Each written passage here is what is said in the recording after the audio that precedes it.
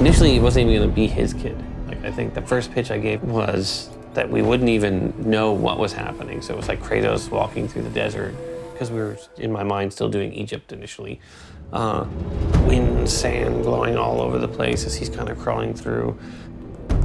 And then kind of stands up and crests over a dune and checks out this really fantastic, like this ancient city.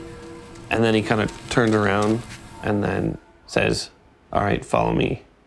And then we kind of reveal that there's uh, a kid there. We have a long journey ahead. I think it was very little. It just at least got the spark. And then that was the, oh, wait, you know, we should do this. We should try this. We should do this.